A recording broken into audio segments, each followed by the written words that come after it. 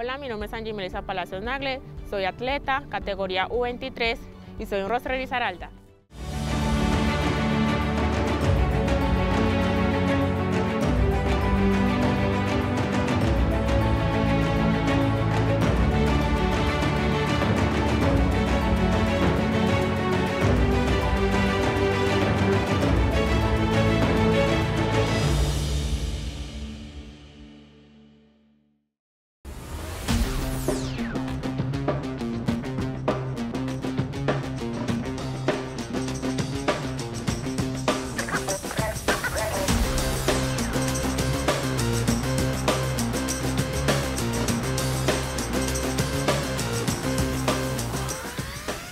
Eh, tengo 22 años.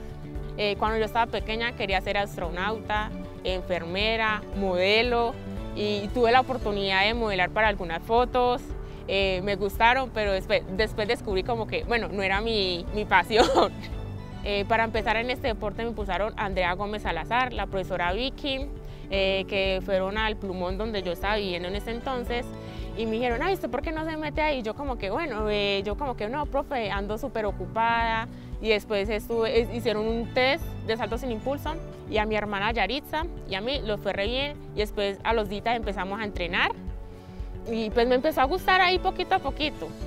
Esta disciplina se llama atletismo, eh, el rey de los deportes como nosotros lo debemos llamar, eh, eh, velocidad, salto, jabalina, esta valla, marcha, martillo, que, y yo hago 400 metros planos y 200 metros planos.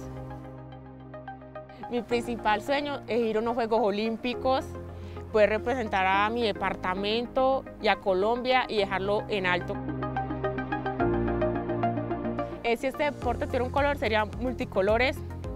porque bueno, cada, eh, cada color tiene una historia y una historia lo lleva a conocer nosotros mismos. Eh, el amarillo del primer puesto, el plata del segundo y el bronce y el color bronce del tercer puesto es algo que